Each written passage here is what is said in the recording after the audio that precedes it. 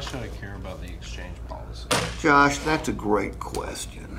You know, Josh, if you if you go to uh, Macy's or Best Buy or Home Depot and you buy a product and you get it home and you decide it's not right, well, those places let you take it back and exchange it.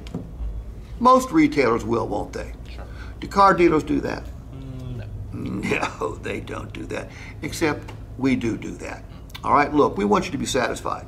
Certainly for three days, but more likely three years. All right, so here's what we're going to do for you.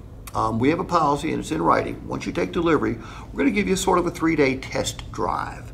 During those first three days, Josh, if you decide the color's not right, if you decide you want different equipment, if you decide you want a different make or model, if you decide you want uh, a vehicle that your dog likes better, just bring the sucker back and we will exchange it for another. And that's not like a trade in. Any dealer will let you trade a vehicle back in. That you take a financial bath when that happens.